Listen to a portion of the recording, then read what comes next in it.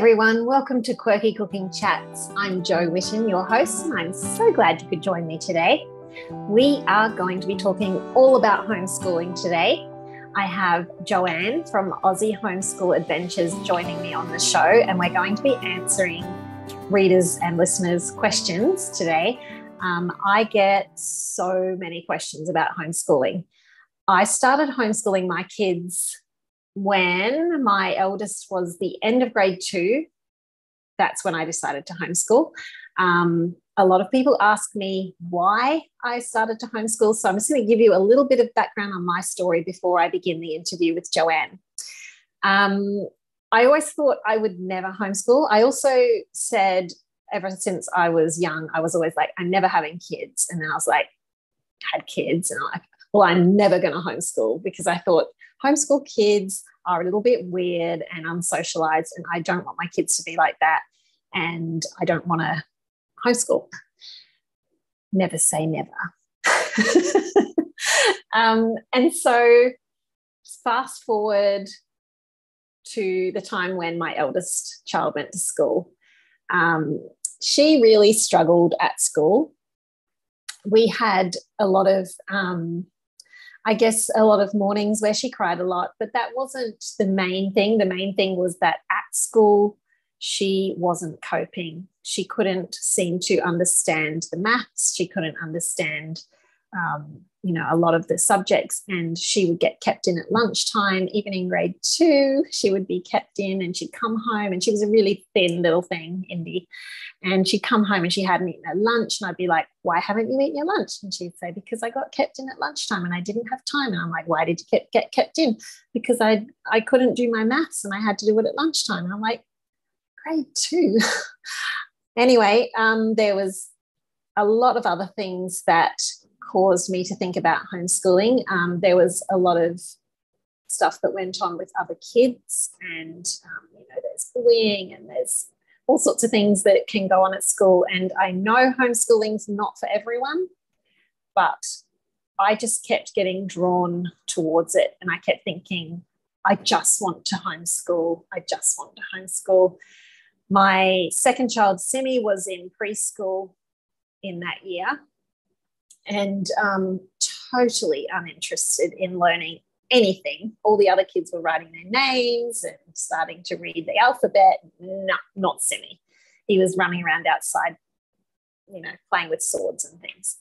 Um, and that was fine, but he was totally uninterested. Um, and I just really noticed how each child seemed to need different things and needed more support, I guess.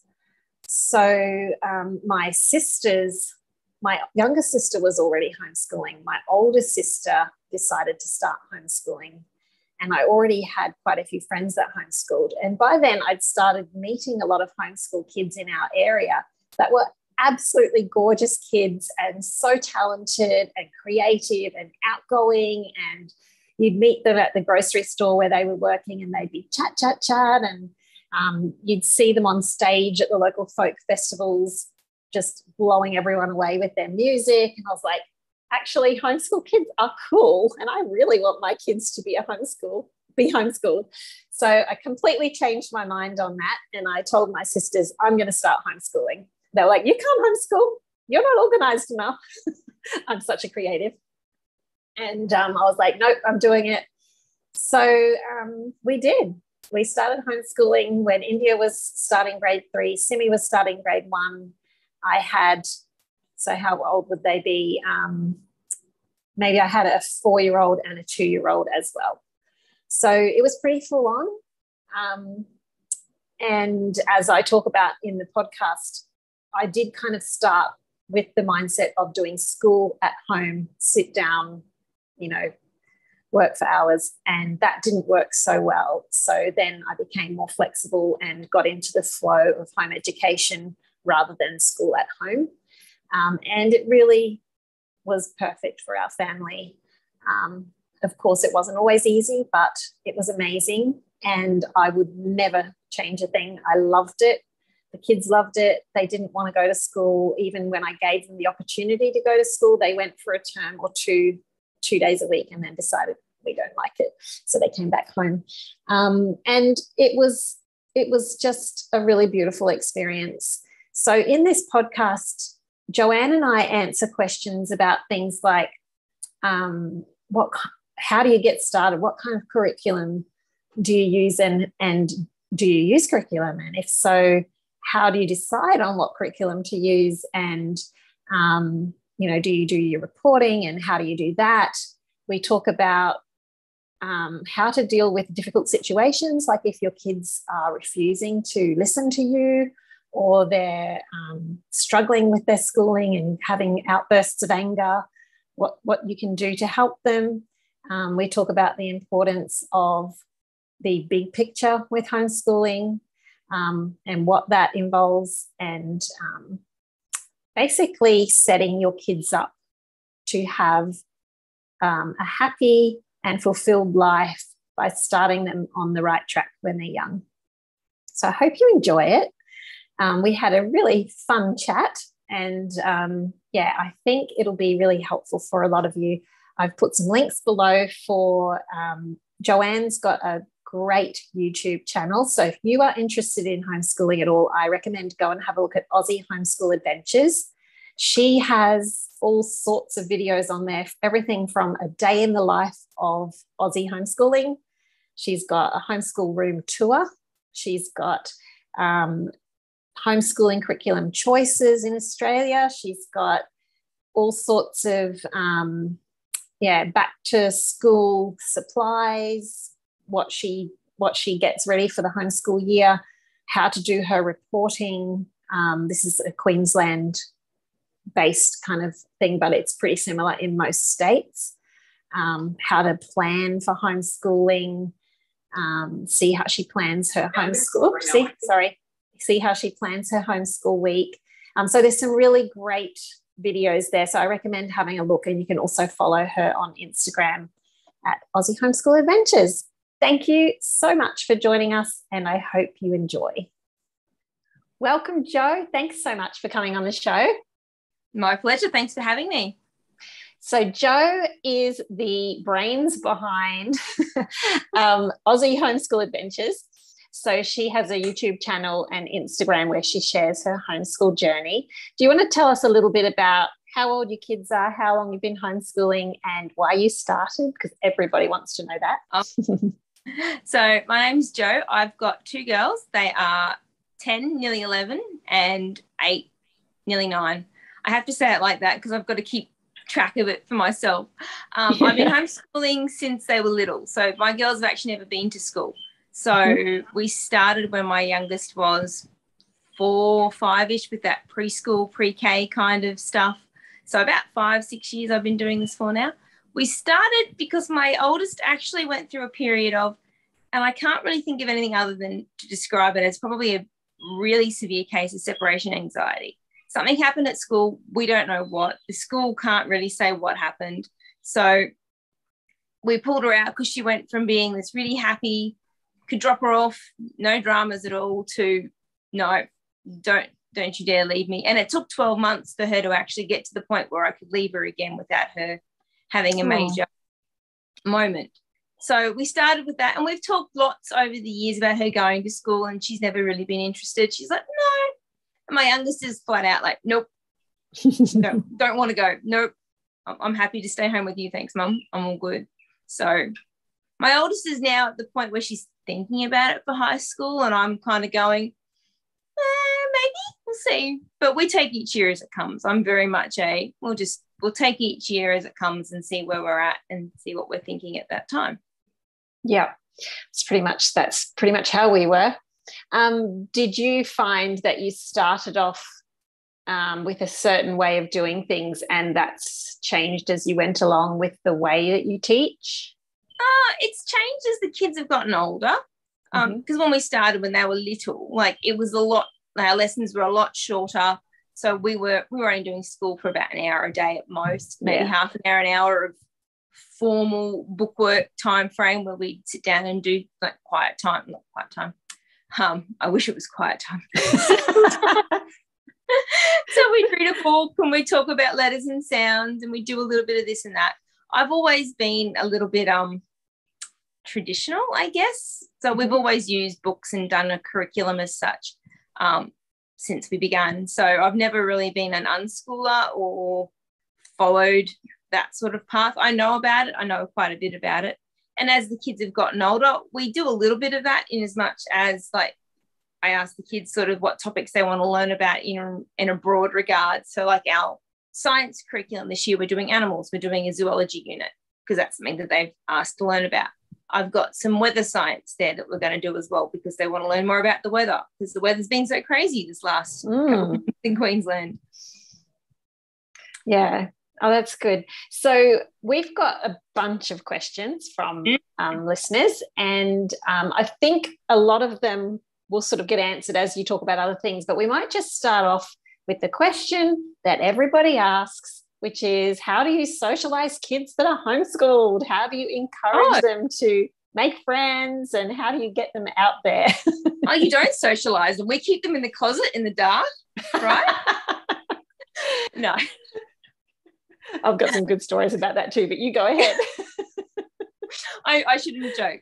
Um, it's not as hard as it sounds. There is so many active homeschooling groups where I am on the Sunshine Coast. There is so many options. I Mm. could literally be out five days a week, Yeah. several times a day, going to this and to skating and to this park play and that park play. And there's a class here and a class there. So if you've got a car and time and money, then you can be as social as you want. Um, my girls, we don't do a lot. We tend to be a little bit more introverted, and that's just our family. We're, we're Mhm. quite introverted by nature. So we like our own company. We have lots of friends. We do plays, so people come over here or we go and meet up with them at a park. My girls, since the pandemic, because that broke homeschooling for everybody. yeah. Everyone that was like, oh, we're homeschooling now, and all us homeschoolers are going, no, you're not. You're, you're crisis schooling, you're, um, yeah, it, it wasn't the It's same. different. It was Mm. very different. It was a very stressful, very yeah. awkward and hard time for everyone, even for us as homeschoolers, because there was no social meetups. We couldn't go to Mm. the park. We couldn't go and do our classes here and there because they weren't allowed to run. So during the pandemic, we discovered Zoom, like everyone. Mhm. So they connected with a few people over Zoom, and we still connect with Zoom now and Messenger Kids. So they often hop on Okay. and play like Minecraft with their friends, and they'll call their friends. They've got the iPad propped up beside the computer, and they're talking to each other and they're playing their Minecraft games, and the noise is just something else. Oh my goodness! I had to buy them headphones. So I'm like, drives you crazy. I'm over the noise. So we do that. We attend a church. So the girls go to church with us and they make friends through church. Um, I try and host here at my home. It's easiest for me because I'm actually only a single car family. So it makes it really awkward for us to get out and do too much. I have people over here about once a month ish for a play and just a social catch up. So there's lots of different ways. And the girls play netball. We've just started netball again this year. So we did last year as well and this year, which I love team sports for that socialization, that learning how to get along with your peers, because you have to get along to play in a team. Yes. No, we found sports really good. Um, and we had homeschool groups and youth clubs and church and all sorts of things. But I had to laugh one day because I had a lady come over and um, we were doing a cooking workshop in my kitchen. And she's she's like quizzing me on homeschooling. She's like, "Yeah, but how do your kids socialize? Like, do they have any friends?" And just then the door burst open, and three of my kids and probably five other kids, um, mostly Indigenous kids, all came flying in the house. They were just so loud. They're having the greatest time. You know, they're just running around doing everything, and they ran past, and she just goes, Never mind. it was so funny. and another time I was on stage speaking um, at the Mind Forum in Sydney um, there was hundreds of people and i had my son isaac with me and he was like 14 at the time and he was presenting with me. And he's we're standing up there at the q&a time and people were asking things like are your children socialized? And i'm just like my son is standing here on stage talking to 300 people. And it was just so funny. Um, Not too and many 14 year olds do that with um, no. confidence He- and No, he was, I think he was, was he 14 or 16? I can't remember when he spoke to a thousand people on stage, and he's the most outgoing kid you'd ever meet. Um, but in the same family, you can have a really introverted child mm. and you've raised them the same way. And it's exactly the same if you're at public school or whatever. I've got a friend who said to me, I went to public school, I did all the things that they say to socialize, and I am such an introvert, and I would much rather be at home not talking to anyone. So you know you you just get them into all the things that they enjoy and you you have neighborhood friends and sports friends and all these things and then it's up to them how far they take that it's just everybody's different absolutely and mm. i find that as homeschool kids they're often socialized with a much wider range of ages yes. like their friends aren't necessarily all 10 their mm. friends can be younger and older and you know they exactly. learn how to interact with a wider range range. Like my my 11 year old can hold quite a reasonably good conversation with an adult, and she's getting much better at actually listening and responding and not just talking. Um, but she yeah. yes, I find that um, is really lovely. The way that my kids would play with someone would come over with a baby or a toddler, and they'd go and play with them and you know entertain them for us. Yeah. Um, and then an adult will come over and they'd sit at the table and have a cuppa and it's like you say you don't you're not stuck in that peer group yeah when you homeschool um, one question was how do you raise kids that are not insular and weird I wouldn't know. Well, our kids, kids are pretty are weird. weird, so I don't know. I don't know either. I'm sorry, my kids are weird. I'm weird, so they they, they were um. They are going to learn from you. So oh, if yeah. you're weird, they're going to be weird yeah. but we're not insular. no, we're not insular either. We're, Just we're, we're, we're but we're not. I call it quirky. I, I, like that term, quirky. Yes, we're definitely yeah. quirky family too. But you know, that was one of the main reasons I didn't homeschool at first because I thought the same thing. I thought that kids would end up really weird and really socially inept if they homeschooled. And so we did the first two years at public school, and then there was just so many I'll talk. I've, I've, talked about that in the intro, why we started homeschooling, yeah. um, and I just found um, I kept meeting homeschool kids because in the area we live, it's a bit like the Sunshine Coast. We've got a lot of um, people that homeschool. There's a lot of homeschool groups. It's very it's very normal here, and yeah. um, I kept meeting homeschool kids that were the most loveliest kids and so creative and so talented. Um, and there was a couple of girls that worked at our local grocery store. And every time I met them, I thought, I want my kids to be like that. And so that's what persuaded me to homeschool because their kids were so amazing. And I was like, okay, that was not a real thing that I thought. so, yeah. Perception's the weird thing, and you kind of. It is. I hadn't really heard much about homeschooling in Australia before I started five years ago. I didn't know, I had no idea and I've certainly watched it grow, especially in the last 12 months. Um, but in the last five years, the community has definitely grown. Mm. Every year, there's more families looking into it, more people jumping on board and doing it. And there is, there are some big differences in the way you homeschool as well, as yes. you're well aware. Everything mm. from a distance education school mm-hmm. through to your unschooling, and it's a whole, it's a spectrum of different styles. So you can really do whatever works best for you and your family and your children. So, and your own confidence and confidence level as a parent too. Yes, and I think that's quite often the case is that you start with the very structured homeschooling through distance ed. Mm. Um, some people do, and mm. or or through a distance ed school that is especially for homeschoolers. And then as you go along, you go, well, actually, I want to tweak this a bit. And this child actually suits this style of learning better, while this one suits this style. And you sort of, mm.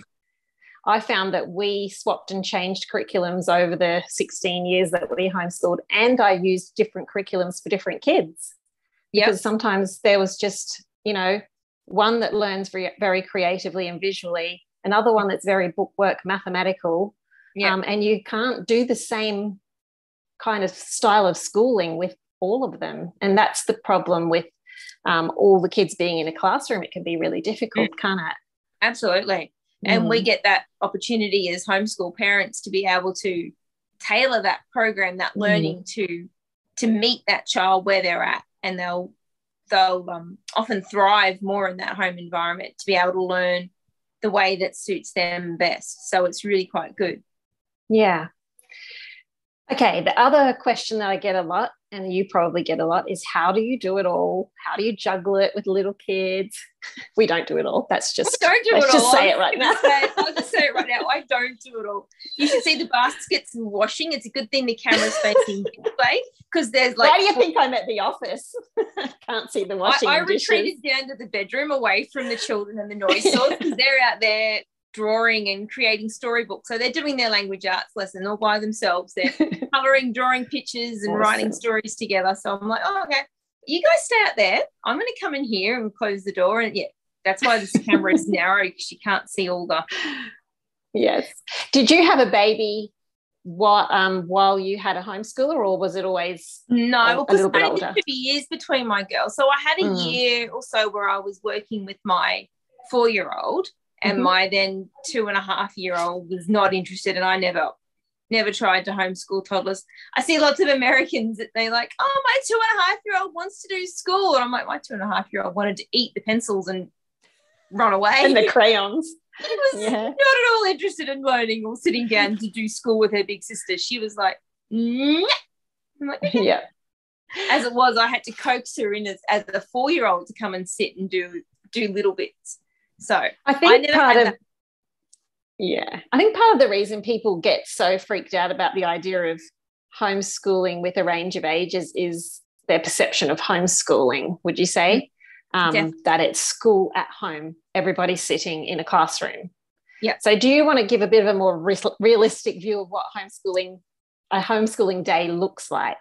Uh, well, on my channel, I've actually got about my last video that I just shared last week is actually a day in the life. So oh, I perfect. I'll put a link to that below. Yeah. I actually take you through what a day looks like for me here. Awesome. Um, we do sit down at desks and do schoolwork. Mhm. Um, not every day. Most days we do. Like I said, I'm pretty traditional in that regards. Um, and because my girls are only two years apart, so they're only a school grade apart. So one's working in grade three. I have to stop and think.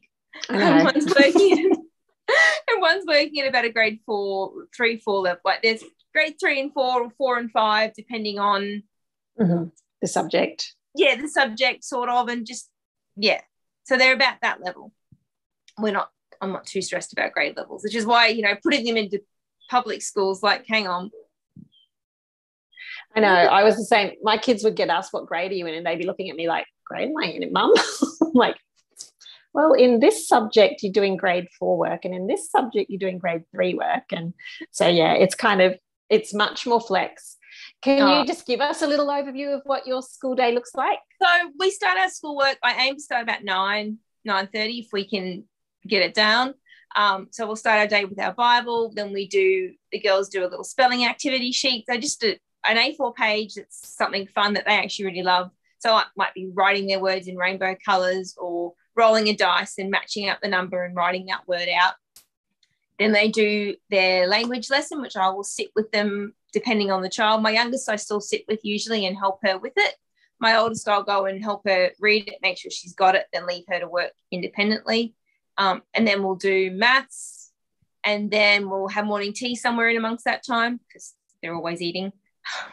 I will literally be making food snacks almost all day, It's kind of part and parcel, isn't it, of having kids at home?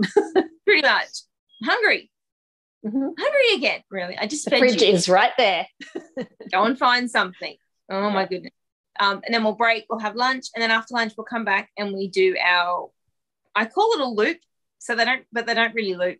Um, and our elective subjects, I don't know. So after lunch we'll do like yesterday we did our zoology, so our science lesson, we did an art lesson, and we did no, that was all we did yesterday.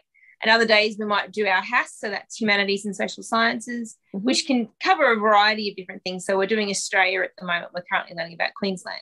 So we've been researching Queensland and learning about different parts of our state, different landmarks. We're about to start doing a research project on, um, oh my gosh, I've gone blank on the name. The guy that discovered the Brisbane River. I've completely gone blank on his name. I can't remember either. so You have to ask the kids. Oh yeah, that, they'll, they'll know, but I'm not gonna not even gonna go there. Um, so we'll do that. We made a little model of Australia with that the other day. So then we did HASS. Um, some days we'll do PE, so I'll take them outside and we'll play some netball training skills and drills. Um, some days we'll do history, art, uh, history. So I'm reading Story of the World. So we'll read mm-hmm. a little bit out of that and we'll do some activities. So sometimes there's crafts to do with that, like making the beads from a from a like a jade bead to make a Chinese jade bracelet.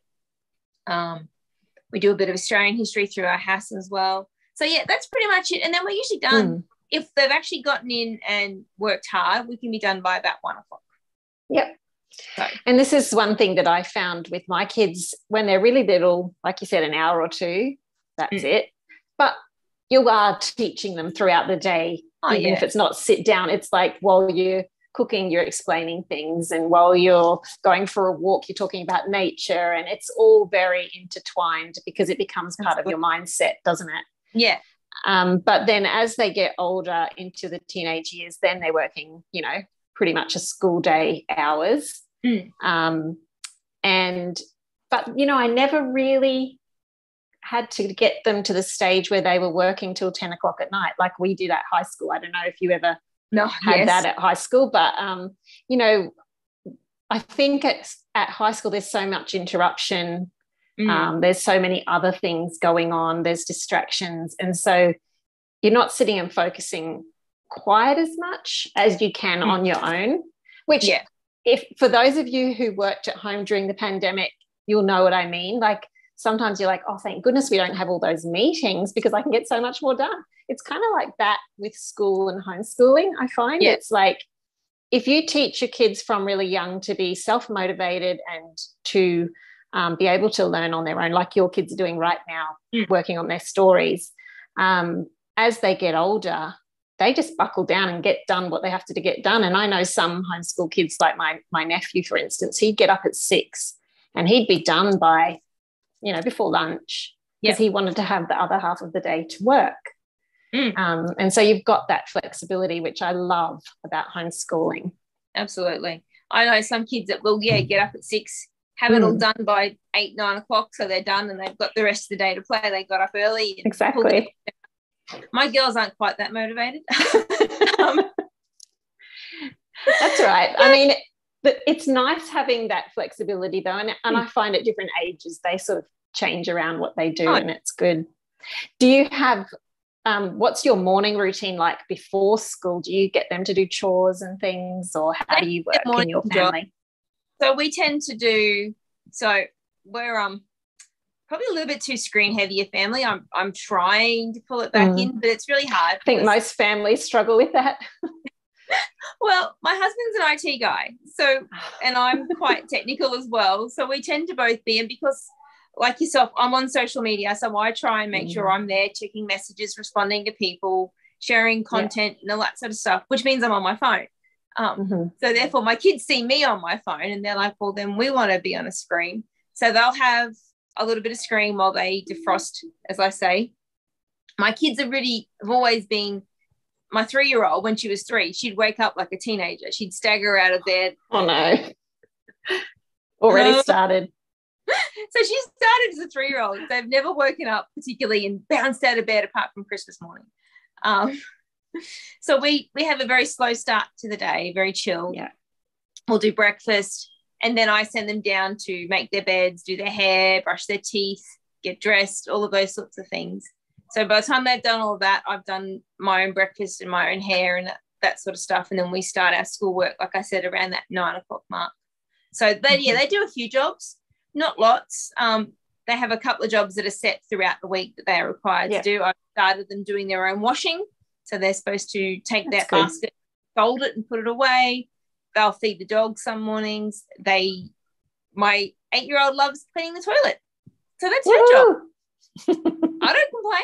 And my, my 10 year old bathroom sink. So she'll wipe all of that yeah. down and my one cleans the toilet. So they do that at least once a week for me. So that's mm-hmm. pretty much their jobs. And then other stuff is we ask them to do it. Yeah. I find that having those set chores for each child really worked for us um, mm. because then if something didn't get done, you knew, you knew who to ask. Um, so there was one one daughter on bathroom and toilet, one on floors, you know, all the vacuuming and the mopping, um, one on bins and tidying the outside verandas. Um, I can't remember, what, oh, one on washing. Um, and that just happened like clockwork. They knew they had to get that done every morning, especially as they got older. Um.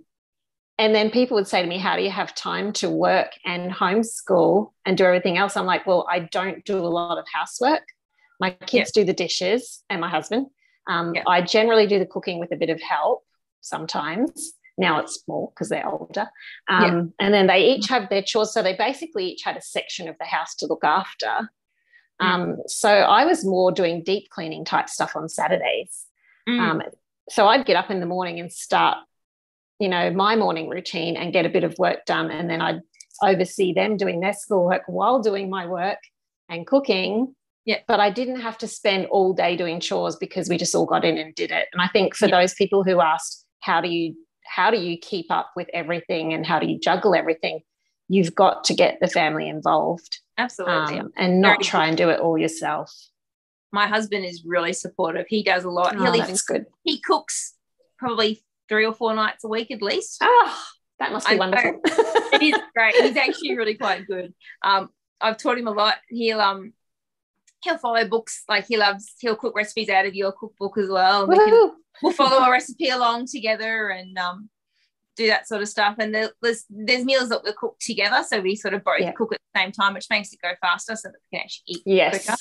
Um, because we're on a little bit of acreage here, we don't have a lot of animals. We've only got chickens, so and we have a bit of a unique living situation in as much as my parents live on property with us. So nice. they have they have their own separate house, sort of mm-hmm. like connected to ours, but they have their mm-hmm. own separate bathroom, kitchen, lounge, living area and that's right down like the other end of our house. Mm-hmm. So mum helps us. She looks after the chickens as well. She's out. She's not out with the kids at the moment, but uh, the kids know grandma's there. If they need something, they'll probably yes. go and ask her rather than coming and bashing on my door and yeah. annoying me. So that makes it a little bit easier. But mum doesn't really help me with the homeschooling of the children. It's not her thing. She's um mm-hmm. actually a retired teacher, so she's not really keen on the homeschooling thing. Um, That's funny. I know she she doesn't really like it. She's gotten better with it. Yeah. Uh, but I don't think she loves it. I think she's still waiting for me to actually send the kids to school. Yeah. Um, so we just don't talk about it. Yeah. We just it, it sounds like we have a very had a very similar situation because I was always two doors down from mum, three different houses. I was two doors down from mum. And so yeah. I did have that support all the time. And mm. mum wasn't, my mum and dad weren't that keen on us homeschooling either. Um, you know, it was kind of like, well, you guys went to school you turned out all right, kind of thing. But it was just so many things that led to it. And then so many other people homeschooling. And then my sisters started homeschooling. And I was like, well, I'm going to homeschool too. And they're like, you can't homeschool. You're not organized enough. I'm like, I'm going to homeschool. I'm a very creative person, so a bit flowy. You know, the kitchen would be a mess and I'd be sitting on the floor drawing with the kids, but that's okay. We got through it. Doesn't matter. Happy kids, as long as the kids were fed, right. at the end of the day, I say to myself, are the kids alive? Tick. Are they fed? Tick. Is there is there um are they happy? Yes, excellent. Job's done. That's the, main thing. It looks like a tornado's been through it. Um, that's pretty normal never clean. Like it, it's yeah. it's never it's never dirty, dirty. It's just never tidy. There's, there's, always yeah. yeah art projects here because we're we're quite creative too. Myself as yeah. well, and my kids. So there's always yeah. There's always mess everywhere. You'll see that if you ever watch any of my YouTube videos, you'll see that I, I don't tend to um tidy up and make it. You keep it real. Oh yeah, I keep it real. That's I'm what we like. That's what we like. I'm such a I yeah i don't i don't try and pretend to be something that i'm not i'm very much who i am and if you ever came to my house you'd see that my house is like that i've actually made some really great connections through instagram with people like yourself another really good friend of mine who also homeschools she and i have met up in real life through in, we met through instagram and we've met up in yeah. real life we're both like yep we are like we say we are on socials so it's really yeah. lovely yeah and I think as the kids get older, it does get easier to keep oh, things oh, yeah. tidy. But when they're young and they've got craft stuff and toys and schoolwork everywhere, it's gonna be it's gonna be a bit messy. oh yeah. Well, the older they get, so don't expect perfection in your No. home. lower your expectations Yes. and learn to handle mess and just be able to go, you know what, it's okay. That's why we don't homeschool at the- dining room table. I started out at dining table and I got over it because the dining table would just be covered with schoolwork and papers and books because we weren't finished something, so we'd shove it aside and then we'd go to eat dinner and it's like, um, it's just There's nowhere. go Yeah. and eat tea. So we actually bought tables, and that's why we actually have a schoolroom now, was so that I can Oh, go. that's Well, great. schoolroom is there, school stuff, and their tables. Their tables are always messy. There's always art on them, or computers out, or papers and books and stuff. So yeah, you Yeah. just you just have to learn to have grace for yourself, grace for the Mm. house, and know that you know what it's okay. And then during like the school holiday breaks and stuff, I tend to binge clean and tidy and Same. beautiful and perfect. And then we get back into school and a week later it's trashed. But it's okay. I remember those days well. Yeah, my house is a lot tidier nowadays. I would love to hear a bit more about the curriculum you use if you want to share some about that. So yeah, I'm a curriculum girl. I use Masterbooks, which is an American curriculum, which everyone goes, Oh, how can you use an American curriculum in Australia? You Really tweak. quite you tweak it as you go. yeah. So especially the biggest issue is like maths and measurement and stuff. And at the grades that my kids are at at the moment, it's not a big deal. I sat down with my oldest maths book the other night and it was a page of like one one mile equals how many whatever it is. I've forgotten the imperial conversions. I don't pay that much attention to it. And I just got out my whiteout and I whited out the American measurements and put in the metric. One me- Yeah. 100 meters is one one equals what kilometers. Yeah. And, you know how many centimeters equals how many meters and things like that. So I just do a straight swap Mm. like that with that concept. Um, so and if there's like a little square to do the perimeter and it's five centimeters and it's five inches long, five cent five inches by five inches, I just say it's five centimeters. Yeah. It doesn't matter in that regard because they're not actually measuring it and drawing it out. They're just learning the concept of doing the perimeter. Mm.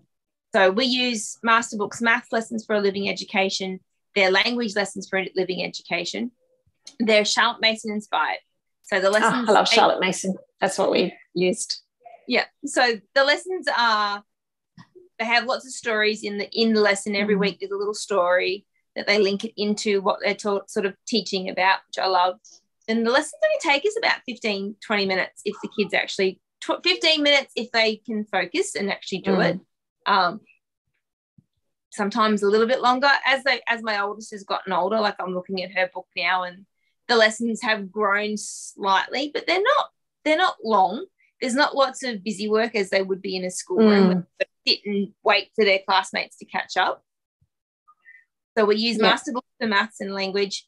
The, ma- the language side of things, I haven't noticed anything that's been, you know, apart from a few words like your mom versus mum. We just we've, I've dealt with that since the beginning, and we've just always talked Yeah. about all Americans spell it with the O, we spell it with the U, and Mm. and they say And it's kind of handy knowing that because Mm. living online as we do these days, you kind of Oh, have yeah. to know, oh, that's the American spelling, that's the English spelling. Yeah. well, even the word like color, for example, Mm. spell it with the O U R, but Yeah. O R is the American spelling, but it's becoming a lot more widely used these days, and Yes. you're seeing the O U R spelling of color. So we're becoming a really globalized kind Yeah. of, which is a bit, you know, my mother has connections, I'm sure. Doesn't really Yeah. I don't mind, but as long as they know how to go, okay, so we use an S or they use a Z and vice versa and Mm. things like that. So it doesn't it doesn't make a big difference. Um, we use their so their zoology is from Masterbooks as well, which I really love because once again it's that 15 minute lesson. We're reading from a beautiful Mm. book, lots of great Yeah. pictures, and then just a very simple fill in the blank kind of activity sheet, which is great. Or sometimes there's like a little code to crack to fill in the sheet with, or mazes, or like the last one they did was they we were talking about dinosaurs and they drew their own dinosaur, what they thought they could make their own dinosaur, what would it be, kind of thing. So that was a bit of Mm. fun. Um, that's our science. Our art, I'm using Evans Moore, which is how to teach art to children. So it's for grades one to six. So it starts really basically um, learning Yeah. about line and shape, color, and you go through the different elements of art, which is really good. Um, our HASS is actually my friend Jamie, the one I was talking about earlier. She's just created this program. So it's HASS. So it's done by an Australian homeschooling mum for an Australian homeschool family. So it's fantastic because it's actually Oh, you'll have to give us the link for that one as well. sure i can share you i can share the link with jamie she's just redone it all because she did it one way and then was like oh hang on i can't sustain that so she's just tweaked it all and she's changing it so there's a 10 week program um, australia and me so we're Mm-hmm. we're part, part of the way through that so it's been really good because like i said Oh, it's good. written by an australian for an australian homeschooling market so many of Mhm. the curriculums aren't actually either australian or they're not written for homeschoolers they're written for classrooms that people have tried to pull into a homeschool thing where I find that there's lots and lots of busy work or lots of activities, Yeah. things that just don't work in when you've only got like one or two kids or maybe three Mm. kids that are doing it, you know. In, in, in your group, discuss this or in your group, you know, we're going to Yeah. play a game of, of tag. I have Yeah. two children. Tag yeah. Yeah. So I found that was really frustrating, which is why I went to the American stuff because it was actually written for a homeschool mindset. It was done Yeah. Mm. for homeschoolers by homeschoolers, which is why I like Mm. master books because they are all like the lady that's done their language lessons is a homeschool mum. She's homeschooled her Yeah. like 12 children or something crazy. Whoa. Yeah, she's got a lot of kids. They're not all hers biologically, like they've done a lot of Okay. adopting, which is really cool. Yeah. Um, Mm. so she does all that sort of stuff so they they know what they're doing when it comes to Yeah. curriculum so yeah, Yeah. i love master books i use a lot of their stuff i've used a little bit of the good and the beautifuls um, which is a very popular one here in australia now i've used a bit of their science units and i've used the unit study style stuff from gather round homeschool which is another new curriculum company so they Okay. do family style learning so that basically the Yeah. concepts that you might learn for a season on space and you buy the unit on space and it covers everything from your history maths not not maths sorry history language arts science social studies all those sorts of things are incorporated into the one thing while you're learning about space. And she has a range of different workbooks. So if you buy it digitally which is what i usually do and then print them Mm. here at home. So it goes from like pre-k so pre-writers right through until high school. And they're all learning about the same thing but the workbooks are leveled so each child can work at their appropriate level Yeah. so it's a really nice concept too That's pretty much the kind of thing we did. We used Sunlight mostly. So that is an American curriculum, but the um, the books are very um, world history focused and all of that kind of thing. And then I did my own. I made up my own section on Australian history, just collecting books from that were recommended by other homeschoolers, and used that Charlotte Mason style to teach the Australian uh, the Australian history. Um, Mm. But it's that family learning where you do you sit down in the morning and you read really good books all together on different subjects. So literature, history, science, all that kind of thing. And then they have their own workbooks and their own um, assignments and things that are age appropriate. Um, but there's a lot of discussion as a group, and there's a lot of practical um, ideas to, you know, looking at maps or globes together and working Mm. out where this happened and looking at a timeline and while this was happening in history what else was happening in history at this time? Oh my goodness i didn't know that was at the same time you know. All of Mm. that stuff is just really great to do together um, we read some really good books together and that's some of the most precious memories that we have of when my kids were younger um, sitting and reading together in the mornings yeah. um, and then they had their own reading um, that was their age level or their reading level um, that they did on their own as well. Um, Mm. So we started off very structured with school at home. Um, and it just didn't suit us quite as well. And I found as time went on, I just wanted to get more flexibility in there. So that's when I started using different curriculums and I used the Maths Online for the kids, which is the Australian Maths. Mm. And that has all the checking online. So I didn't have to sit down and check all their work. It was all done um, automatically. And if they had something go wrong, then I could sit down and watch the video with them and help them understand it. But otherwise, they were working on their own, which I loved. Yeah. Um, we did learning language arts through literature. Yeah. Um, a lot of literature focused stuff, a lot of nature based learning. Um, and well, it just was. Do why not? Yeah. Um, it was just such a lovely way to learn together. And as they get older, um, I've had this question a lot as well. How does it change as they get older? Um, you do have to focus more on the, um, like if you want, if your kids want to go to uni, especially, um, you've got to focus more on the bookwork type stuff as they get older. Yeah. And it's really dependent on the character and what of the child and what they want to do in life, um, what their goals are and you, you just keep talking through that just like you do with kids in high school to figure out which direction they want to go um, isaac was the one that was very maths and language focused um, and computer coding and all that kind of stuff so by the time he got to the end of grade 10 i was just like this is too hard for me. I can't teach you Chinese. I can't teach you Japanese. I can't teach you computer coding, and I do not understand your maths. So he started going. so he started um, distance ed through Queensland distance ed yep. for grade 11 and 12 because yep. that way he could he could do you know Chinese and computer coding and all that with the teacher's help. Yeah. Um, he kept doing some of the stuff on his own though. Like for instance, he taught himself Japanese. He was conversational in one year. Wow. Um, he's just he's I mean, he's got the OCD brain, so he does the super focus thing and he can just learn languages and maths and things like that. Um, and that's where and you so, go with your wiring and your your kids' passions, and that's where that's you're it. always on that unschooling kind of yes. You know, it's it's a like I said, it's a spectrum. You can't be it hard is. fast on it. You really can't. And you have to be led a little bit by each child, like mm. what's their what's the way that they naturally mm. um, thrive. I, am trying to figure out how to say it. Um, so that was that was great for him because he was starting to lose focus with me towards that age. Mm. He was starting to get slack, but once he um, started the distance ed, he did really well. Um, yeah. But he didn't decide to go to uni. He thought he'd have a year off and do some work at a. There's a private school up here that um, homeschool has a homeschool department that has like 600 families or something in their homeschool department. That's Jubilee Christian College in our area. Yeah, and so he's yeah, so he started working there formatting their curriculum. Oh, so wow. that's yeah, so he's been doing that for a couple of years now, and he was just going to do it for a little while, but he loves it, and it's just perfect for him. So he hasn't ended up going to uni yet. I mean, he still may, um, and that's completely fine. Like, he's still what twenty yeah. something, twenty, yeah, yeah.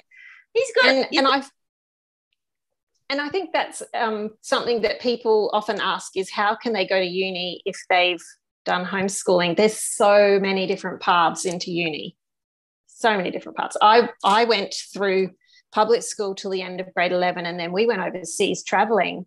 So I did homeschooling for two years because I didn't manage to get it all done in um, one year. And when I got back to Australia, I had not quite the right um, qualifications or, or, paperwork or whatever to get into uni, mm. but I wanted to do art. So I just took my portfolio in and said, "Can I have it? Can I have a you know a meeting to sit?" And they looked at my portfolio and said, "Yep, you're in." So you know it can be so many different ways to get into uni. Mm. Um, so you don't. There's actually I think there's about six different ways, and um, I won't yeah. go through them all here. But people can. Um, do a bridging course, like kids can do a bridging course through TAFE. There's all sorts of ways. Um, but yeah, so that's a bit of an example from my family. The ATAR, like whatever it is now, the, the score mm. that you get from grade 12, it's only really in that first 12 months, I believe, after you've left grade 12 that you need it to get in. Anything mm. beyond that, you can apply as what they call a mature age student. Mature age and, student. And they don't really look at your schooling history that much anymore either. No. So it's more about your experience and your, you know, yeah. Yeah. And I think it's good for kids to have a year off and mm. work for a bit before they go to uni because they need to raise a bit of money to get there because it's expensive if they want to go. Um, yes. And and also just to figure out what they want to do because I think most people find they start off in one area and then they go, mm. actually, no, that's not what I want to do. so it's good to grow up a little and then fig- yeah. as you figure it out. So I've got one, someone asked what my kids are doing now. My eldest is 24, she'll be 25 in July. Um, she did a horticulture traineeship through um, local, um, it's native fruit orchards where it's all organic and using indigenous growth methods and it's really cool. She did her traineeship through them. That's and cool. my second child my son also um, worked for them. So they've both worked in horticulture. Um, they're both doing that part-time still um, she's also looking for some other work at the moment but mostly gardening stuff and then my yeah my second child he's doing part horticulture part woodwork for yep. working on woodwork for my online store, learning from my dad, who's a um, really talented woodcarver. And my Isaac's working formatting um, for the school, doing the computer work. And my youngest daughter is working part time at a motel, but the most of her time is spent doing artwork um, for commissions. So, yeah, yeah you just never know. no. Yeah, they're all going to be different and they're all working within their passion and with things that they exactly. enjoy and good at. So that's yeah, and that's what you want for your kids and for yourself. It is. You know, you don't. Yeah, you don't want them stuck in a nine to five job that they hate. No, let let them be a bit creative and figure mm. it out. Yeah, yeah. What what would you say to parents who say I'm scared to homeschool because I'm not a teacher and I don't know if I can give them everything they need? Well, you've been teaching them since they were born you were their first teacher. When your child was born, you've been teaching them how to, you know, to, how to crawl, how to sit, how to eat, how to talk. You've been teaching them from the beginning. You don't need to be a qualified teacher. There's no no law in Australia that says you must have a degree in teaching to homeschool your child. You learn with them, you learn alongside them. Sometimes you're a step ahead just so you can feel like you're a step ahead. Other times, I'm I tend to be very honest with my kids and go, I don't know. Let's look it up together and we'll learn about it together. And exactly. We go that way because teachers don't know it all either. And you can't. My husband said this, we were talking about stuff last night, and he was like, Well, you know what? Your kids are going to get more from you at home with them, one on one or one on two or three or whatever, versus what they're going to get in the classroom with a one teacher versus 30 kids. Yeah. So you don't need to have it all. No, and we definitely learned together. I felt like there was so much that I'd forgotten from high school and uni. Um, and we had to, I had to relearn it with them. But it was great because seeing it through their eyes, mm. you learn it so much better as an adult, probably anyway. But yeah. um, it was such a lovely learning experience. And I always say to people the main thing you need to do is teach your children to love learning and to love figuring things out and love problem solving and then they can learn anything and they will yeah. go you know start getting interested in a subject um, and they'll just take off in it because they've learned how to research they've learned how to find things out for themselves and that's that's what you've got to teach yeah. them is that foundation yeah absolutely and we live in an information rich world so i mean i try and have we have a huge collection of books. So the girls Same. can go up stuff in books. Um, I'm always buying books. I've got an order coming from Book Club, which is the one oh, nice. So if you don't know homeschool, you can actually access the Book Club, same yeah. as the schools, and you get all the great. You actually get more perks as a homeschool family than what you do as a parent buying from the school. So they do it like a 20% reward system. So if you buy books from them, so I just bought $70 worth of books and I got $14 back straight up wow. that I can then spend again on my next order of books. So it's so good. I know it's great. So I've got two book club orders coming through and that's really cool. And it's like Christmas a, every time they arrive, isn't it? oh no, it's great. I've got to actually stash some of these because they're for Easter, which is, you know, we tend to do books for Easter for our kids. So we have that's a nice. huge collection of library of, of books. We mm-hmm. go to the library as well to get books too when we can get there. Um, but unfortunately, I'm a bit terrible, but I'm a bit of a, hey, Siri, Yeah.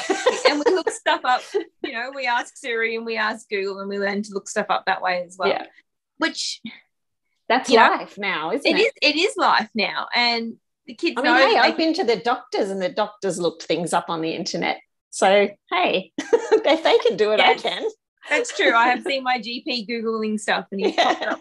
And I'm like, okay. but it's learning, teaching them too how to know what's reliable information then versus Mm. what is personal opinion. Yes. Anyone can publish a website, anyone can have a blog like yourself. And Yeah. you know, your your blog is great, you're very researched and you have your information and it's factual.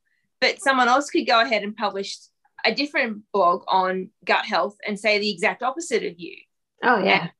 you know you've got to teach the children and learn yourself too how to distinguish between fact and fiction and Mm. opinion and truth because there's always and you know trying to teach my children to be discerning and go well you know there's the truth there's the facts and then there's you know your version of that as well because everyone has Yeah. their opinions and what works for you and things like that depending on what it is so we really worked on that even with history. So we'd read a Mm. book that looked at the that period of history from one viewpoint, and then we'd read a book that looked at it from another viewpoint. Um, you know, for instance, you'd read Australian history, and it's written Mm. by white people, and Yeah. it's completely different than the um, history written by Bruce Pascoe. So we read that as well mm, um, we tried to make sure that they understood you have to look at things um, with discernment, like you're saying, that it's just never as simple as it seems, um, and learning to find out the answers for yourself and not rely on what the media says or what you've been told by your friends and your peers. Look into things, dig deep, and um, Yeah. learn for yourself. And I think that is a really amazing skill for kids to have. Absolutely. It definitely is the life skill because it's something that you Mm. still, even now as an adult, to be able to look at something and go, well, hang on. Is that What's true? the other side of the story? yeah. What's Yeah. what's going on? So yeah, definitely. Yeah. Mm. Um, so you've mentioned a couple of good sources for books. Where else do you get your homeschool books? So I, I have a few places. I love Book Depository. Yeah. They are great because they do free shipping on books, which shipping on books can be an absolute killer. you know, they're because they're heavy. So I like Book Depository. I love Book Club. Big W and Kmart these days now are bringing in lots of great books at really good prices. That's So you can often find really good little gems tucked away in there. Um, curriculum I tend to buy from either Masterbooks from their website. Like I said, I buy the PDFs and print them myself. Mhm. Or there's another local supplier for them now, Welcome Home Education, and they're based in New South Wales. cool. So they're they're actually in the in the flood zone, unfortunately. So Oh. they're a little bit struggling at the moment to get stuff out. I don't think they're flooded, but postage delays and all that sort of stuff. But Yeah. they're really good. I've bought books from them. Um, and they Mhm. have a great collection of American curriculum stuff that they've imported to Australia. So you pay a little bit l- less than what you would buying it from there, and you don't have to pay the US shipping prices. Because Yeah. you would know buying Sunlight curriculum books, getting them shipped from the US to Australia is like, I looked at yeah, some it's and I could it's probably half the it's probably half the cost is shipping. Sometimes it feels like I always picked and chose what I ordered. Like I didn't just get the whole lot. Well, I Yeah. did a couple of times early on, but that was years ago when shipping wasn't as much. But you also have to be careful if you're ordering from overseas not to go over. Is it a thousand? Because then you get charged tax. Oh, I can't remember. Yeah, so you do Oh, get I've charged import taxes as if you're a store, you know, Oh, wow. um, as if you're a business if you go over a certain amount. So there's all of that kind of thing. There's a lot of homeschool forums um, and groups that you can go on to help Mm. you with all this stuff if you're new. Do you have recommendations of some So- good ones? Facebook has quite a few good groups, like the homeschool home education Queensland group. The Mhm. ladies that are in there, the administrators have done some fantastic guides that will guide you through signing up Mm. and like the different distance education schools because there's lots of different DE schools. You've mentioned Jubilee, and then there's a whole Mhm. bunch of others as well. Then there's other um, options. So, like myself, I'm registered through the HEU, which is the home education. Same. So yeah, that's who I- we went through. Yeah. And that's in Queensland who you go through is that if you do your own thing, and you have to do your reporting to them, which isn't a big deal. But every state is different. So, depending on your state, they have different requirements. I know New South Wales, you have an AP come and visit you and they come and look at your program, meet your kids, but you get two, you can get like two years registration. Whereas here in Queensland, we only get 12 months. Yeah. Or 10 technically, because you've got to do yeah, your true. So Mm. it's not terrible. Um, I think WA has a similar system to New South Wales. I'm not sure about Victoria or Tassie. I think they're a little bit more relaxed again. So Okay. but if you, once again, if you ask Google, you should be able. the key words will be your state homeschool requirements, and the government will have a list of them yeah. as to what you're required to have. And do. and each state has their own home education unit. I Yeah. believe. Yeah. Um Yeah. forgot what question I was going to ask you there. It'll come back to me. Sure. Um, okay, so here's a little curly question. I'm actually a teacher, and one of my kids just won't listen to me. Ideas? I'll let you answer that one. That's Oh, a hard one. Kids don't always listen at the end of the That's day. just life. the, the biggest thing is I don't know this person's situation, but the best advice that I've seen talked about lots, and I didn't have to do it, but I know a lot of people that do, and I've always said to people, if your kids have been in school, so if they've come from a schooling environment, you need to spend a period of time, be it a month, two or three, depending on the child and how long, how great the trauma might have been, is to call, but oh, untie my tongue, is deschooling. So you spend a period Yeah. of time at home where the kids just decompress, heal from whatever's happened, get over it, and adjust to being back at home and seeing you, their parent, in that teacher light. Because it is a Mm. different, it is a different thing. My girls are very lucky in that they've always seen me as teacher. So they know they have to listen to me. But they still have moments where they're like, I don't want to do school. And I we have a very open and honest conversation with them. I'm like, well, at the end of the day, I'm sorry, sweetheart. Mummy has to educate you, whether I do that here at home with me or whether we enroll you into school and you go to out school, they call it, and go into Out classes. And, school. yeah, I know. I'm not sure where they got that term from, but it works. you have to go to school and do school that way. And what do you want to do? Do you want to stay here with me or do you want to go to school? And they both tend to go, mm, stay here and do it with you. Well, then you need to listen to me and do what you want. So, depending Yeah. on the child, that might work that kind of conversation. Um, you might find that your the kid needs to learn a certain way, teaching to the Yeah. child where they're at that learning style, whether they're hands on or auditory, visual can help too. But Mhm. I Yeah. think one thing we we really found that if you focused on the relationship first, that's the most Yeah. important thing. Um, and get like if you're having a really bad day or your kids are having a bad day and they're screaming and running around and not listening or whatever, put the schoolwork down, get outside with a picnic blanket, have some books and a picnic, and just laze around and read books together. Um, do something that builds the relationship. Go for a swim, go for a bushwalk together. Um, get out the paints and make crazy finger paintings together. Do something fun that Yeah. they go, I like being with mum. I Yeah. want to have fun together with mum.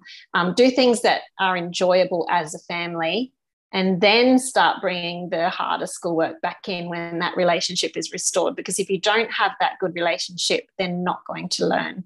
And if there's a lot of stress, if you're going, you have to do this right now, sit down right now, they're not going to learn. We don't learn like that. No. You've got to have peace and calmness uh, in, in some ways. I mean, there's going to be a bit of chaos, but if you've got anxiety and stress, yeah, organized chaos, happy chaos. That's what I call Yeah. it. Um, Yeah. If you- if there's a, if there's that anxiety and that stress and anger, um, you've got to calm that down first Mm. before you can teach. absolutely, that relationship has to be your number one. Mm, Because otherwise, your kids are going to hate you. They're going to hate school, and you're not going to get anywhere. they're not going to learn. No, not going to learn. Oh, they'll learn one thing. They'll learn how to hate you and how to hate school, Yeah, how, how to be an angry person. yeah, and that's not what you want. No. Um, so if if someone's feeling really overwhelmed, how would you I think that's probably even we've just answered that. Yeah. Stop. Go Right. go play for a while. The, the beauty Yeah. of homeschooling is that you don't have to be bound by Monday to Mm. Friday, nine to three. Learning has to happen in those time frames.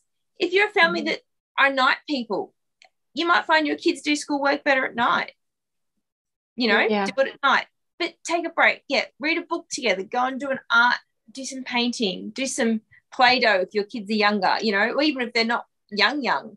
I still find that kids of all ages love Play-Doh or something therapeutic about it, or you know, make a loaf of bread together and get them kneading and doing that that exactly. kind of hands-on thing. Make a cake. Um, you know, go go to the library. Go on a go on a field trip. Take a take a take a breath from school, and Yeah. Know that it's okay, and that by having a day off or even having a week off, because if you've been sick or your kids have been sick or something's not, you know, there's there's a big stress in the family. Something something's happened. It's okay to take a week off school and just let them play. Yeah. it will be there when you come back. And if you're not following the school term, it's okay. We we, we kind of follow it, but not really at the same time. Um, we, yeah, it depends on what's happening in our world, whether like, because of the sport, I sort of follow up with netball. It makes it a little bit easier because of training and games and all of that. Um, but outside of that, sometimes we'll do like a four weeks on and one week off. And then that, that week off is my week that I will get a whole bunch of housework done and Yeah. tidy up and the kids can just have a, a week off to decompress and then we get back in the next week and everything's happy but we holiday as a family in off seasons so we Mm, don't go same. away during school holiday i'm like Mm. nope i don't have to my husband isn't a teacher we're not required to holiday in those you know set two weeks of a year so we take time off usually in november and go away when it's nowhere near as busy or crowded or crazy and we love it it's great Yeah, we always did that too because we learnt the hard way that um, you can't get into places you want to get into because it's too busy on school holidays and it costs more. Yeah. So you may as well just do it off season kind of thing. Yeah. Yeah. That's the flexibility is one of the biggest benefits of homeschooling. oh absolutely yeah. Um, okay, so what do you do when you have to try and keep your kids calm and productive in wet weather? There's a lot of that going on at the moment. People Oh. are stuck inside. Um, kids are climbing the walls. Maybe, you know, there's going to be a lot of families that probably have kids in caravans and all sorts of things at the Mm. moment because of um, all that's been going on. How can, like, what do you do? What's some tips? well to be honest i actually send my kids out to play in the rain if it's not Yes, so did I. if it's not actually bucketing If it's down not. rain and they are really like If it's safe. lightning, if it's safe, I Mhm. have sent my kids out rain rain boots, yes. raincoat. Off you go, go and play in the trampoline. Go burn some energy. Go outside and play. It's okay. If it's a storm, obviously not. Um, no. but they do things like that. There's lots of great um, kids exercise videos on YouTube. So if you type in kids YouTube. There's yoga and there's things like um, different like dance games and stuff that they can do. So you know, pop one of those on and get the kids to do a dance workout in the lounge room. Just clear the space, push the couches back, and things like that.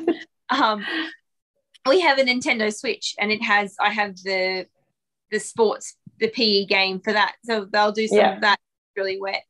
Um, if the weather's really terrible and they're really feeling anxious about it, learn about it. Go and study that Mm. weather pattern so the kids can understand what's going on. Because knowledge brings reassurance more often than not. It can bring fear, yes, but it can bring an understanding of going, okay, well, we know what it's happening and whatnot. And if you have a week off because it's just really wet and the kids are driving, you know, they're not wanting to learn or focus. But I often find that my kids get bored anyway, and that Yeah. school gives them something to do. Mhm. Don't do school, like over that long Christmas period, Yeah, I was you- just thinking break- of that. But you know, you, school ends in December-ish. Once Christmas is done, They're they tend to get a bit twitchy. Like Mm. they've done they've done what they want to do and they start to get a bit twitchy and bored. So I start pulling out activities, school, you know, revision stuff and activity sheets and go, okay, here, do this or do that. Um, they, they tend to not get as bored then. They don't tend Yeah. to I'm bored.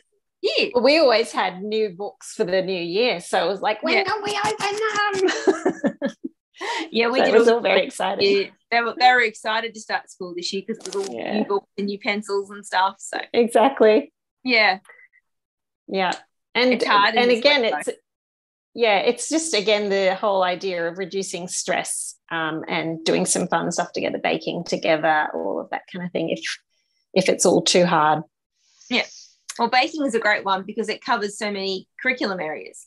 Mm, Everything it is. Starts because they're reading that recipe, to your maths because they're learning about volume, capacity, and how to measure and how to read, and science because it's a chemical reaction. and problem solving because we never have all the right ingredients. So you you might not, and you've learned how and and yeah, that, that learning how to okay, well, we don't have any of this, but I can substitute that, and it'll be about the same, and and Yeah. tweak. I have I have you to thank for that. I actually learned a oh, lot oh, good. watching you cook and going okay, What can and knowing that? I can actually tweak that, and, and it usually works. So I learned a Yeah. lot from cooking oh, that's good to hear. feel from watching your videos over the years. Well, I've been following you now for oh my gosh, a long time because I bought your. I had the original. Oh, my first book, which was Yeah, the first book. 2014. Okay. Yeah. So and just before that, I found you because I went dairy free Oh, and there you trying go. to find dairy free stuff that wasn't too. I don't know. Yeah. I found you through Thermomix and dairy free stuff. Oh, that's good. So yeah, a long time. Hmm. Wow. Well, there's one more thing I wanted to say about when things are a bit difficult with the weather and just thinking of the flooding and everything that's going on at the moment. Um, you mentioned educating them about Mm. what's happening with the weather and things like that. I think also another good thing is getting them involved in helping out. Mm. Um, so, community service type stuff. Um, Yeah. Whenever, especially when kids start to get a bit um, selfish or they're like bit precious about their things or whatever, to get them out helping people in need Mm. makes such a gigantic difference. And I know even from my own childhood, my parents helped a lot with that kind of thing. Um, cooking meals for people in need, um, all of that kind of stuff. And so I learned that from a really young age, and it just became a natural. Whoops, are you still there? Yeah. Sorry, my phone's saying it's low power. Um, I just found that that really shaped who I am, but it also made me really aware that um, my kids need that to be a well-rounded person. They need to see all si- sides of life, and they need to help other people in need. And um, whenever they get a bit bored or yeah, think that they're owed everything. Yeah. Um, and you need to make my life more fun kind of idea. Yeah, Get them out there helping other people, definitely. even if it's just baking bickies for the neighbor, whatever, you know? Yeah. So, yeah, we'll probably have to finish up soon because, yeah, my phone's going to die. But other than that, have you got anything that you really want to say that um, to get across to new homeschoolers? that it's okay not to know everything, that just have a go. the the Mm. biggest thing is just if you're not sure, just try it. There's no Yeah. law that says that you've, oh, now you've started homeschooling, you've got to do it till they're 18 and graduating. You can do it for a year. And if you find that it really isn't working for you, for your kids, you can pop them back It's into okay. school. One year out isn't going to totally derail their schooling. You're not going to undo everything. You might find that you actually really love it and that it works really well. So I'm always of, a, of an opinion of just try it and see. There's no guarantees either way. Um, Some people do um, homeschool for one year while they travel, for Yeah. instance. We Yeah. did that a couple of times. and some people do it because of different reasons and find that they actually really love it. A lot of family, a lot of families actually started out of the pandemic. They Yeah. found that having to do it, they were like, oh, oh, we can actually do this. Oh, I actually really like it. And the kids Mm. kids changed at home. They found found a new equi- equilibrium because it was a lot less stressful, a lot less anxiety for the kids and stuff. So, you know, it really isn't as hard or as scary as you want it to be. Distance education is a great place to start if you're unsure, Yeah. because that you'll have a teacher to support you. They provide you with all the curriculum, and you just need to support your child in the learning. Once you've gotten your feet and found your feet doing it that way, you can jump in and do things like I've done with the HEU. And it's not that hard. Like I've been doing it Mhm. now five years, and I've never had a report returned with a, you know, you being deregistered. They've never even asked me. Usually, all they'll do is go, "We want more information." I've never even Yeah. had that because they don't care what you're doing. They want to know how you, as the parent, are supporting, encouraging, and facilitating the learning of your child in an individualized way. Yeah. So, And they do give you a lot of um, help if you ask for it. And there's also Mm. um, samples of how to do reports and what to look for and what to, um, like all through the year, taking samples of your kids' work and putting them into a folder so that at the end of the year you can send them off with the report and um, all of that kind of thing. So you learn as you go. definitely. And it's not, Mm. it doesn't have to be perfect. No. So, And, it, it's going to look different for every family. And that's um, important to remember. Don't compare your homeschool journey to anybody else's. Um, Yeah. Yeah. I should um, answer this last question. I'd love to hear your children's view of homeschooling. Obviously, I don't have them on the. Well, I could I could interview them and just stick it on the end. You could. Um, yeah, I haven't I, did. my children on my channel about what they love Oh, about. good. Oh, we'll have to have that link as well. But I did ask them a few times if they wanted to go to school because I got really busy with work and everything and trying to write books and all of that kind of thing. And they went for two terms to um, only for two days a week to the distance ed school that they went through, Jubilee. You could go to school part time. Yep. And then they were just like, no, we don't want to do that. We want to stay at home. So couldn't get rid of them. I think they get used to it, as in, like, yeah. there's that certain comfort, you know, like you were saying about the food. My kids Yeah. are used to whatever they want. I don't think they'd cope with the whole you can only eat at 11 o'clock and midday or whatever it is. What do you I'm mean? going I've to tell you a funny. Wait. I'm going to tell you a funny story. The first day um, they went to school, um, my kids are very Far North Queensland outdoory kids. And the first day they went to school and they came home and India was unpacking her school bag and she pulled out a, um, a pocket knife. And I said, You didn't take that to school, did you? She goes, Yes. What else am I going to cut my apple with? I'm like, Oh my goodness. She had a pocket knife at school. Like, You're not allowed to take pocket knives to school. oh, okay. I didn't know. You're so yeah, they're a different breed home with big red- homeschoolers. so lucky she didn't get caught with that one. Goodness, oh, so funny. But Okay. yeah, I love I love how my kids have turned out. And sure, I didn't do everything perfectly, but um, Do you ever I think they've I think they've ended up with um, that love of learning still, and they've ended up with a really lovely um, attitude towards all age groups, and so I consider that a win. I, think at the end of the day, every parent wants their child to be a happy, well-rounded, polite, Mm, you know, exactly.